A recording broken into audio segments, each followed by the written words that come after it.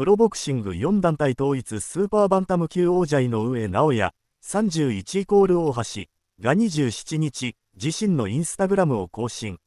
9月3日、東京有明アリーナで控える元 IBF 世界同級王者 TJ ドフェニー、37イコールアイルランドとの防衛戦の1週間前の肉体写真を公開した。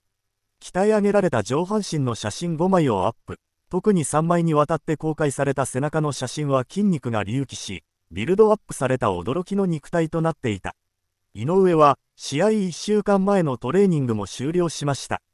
スーパーバンタム級の体が出来上がってきた、まだまだ行くぞ。と綴った人気漫画アニメとなるグラップラーバキの主人公、ハンマバキの父、オーガと呼ばれるハンマ裕次郎の背中を彷彿させるショットとなり、フォロワーからは、鬼の顔。リアルオーガダ YO、筋肉すごすぎ。マジで過去人仕上げてるな今回も KO 期待しています。鎧のような筋肉、鋼の肉体、仕上がっている。と絶賛のコメントが寄せられていた。